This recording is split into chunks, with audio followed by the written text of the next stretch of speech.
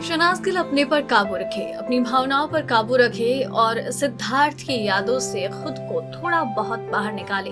इसके लिए सिद्धार्थ शुक्ला की माँ रीता जी उन्हें लेकर जा रही हैं ब्रह्म कुमारी और शनाज गिल ने ब्रह्म कुमारी में एक बहुत ही बेहतरीन मंत्र सीखा है, जो उन्हें बाहर की नेगेटिविटी से सुरक्षित रखेगा।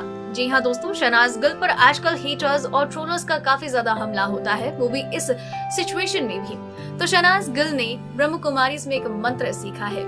वो मंत्र है, निंदा स्तुति, एक समान। जी हाँ इसमें ये बताया गया है कि निंदा यानी कि अगर कोई आपकी बुराई करता है, स्तुति यानी अगर कोई आपकी तारीफ़ करता है तो दोनों ही एक बराबर है।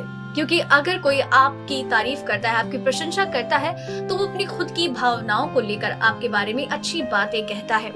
वहीं अगर कोई आपकी बुराई करता है, आपके लिए कड़े शब्दों का प्रयोग करता है तो ये भी उसके खुद के ही तरफ़ से होता है, खुद की भावनाओं और विचारों की तरह से ही होता है। इसलिए ना तो निंदा आपके लिए होती है और ना ही स्तुति ही आपके लिए होती है। इसलिए इन सब चीज़ों से खुद को परे रखें और जो कर रहे हैं, उसी पर ध्यान रखें। यह है बड़ी काम की बात। ये ना सिर्फ़ शहनाज के लिए अच्छी है, बल्कि अगर हम हमारे खुद के जीवन में भी लागू करें तो बहुत सारी चीज़ें नॉर्मल हो जाती हैं। इसी तरह से हर एक अपडेट जानने के लिए हमारे चैनल के साथ बने रहें और चैनल को सब्सक्राइब कर लें।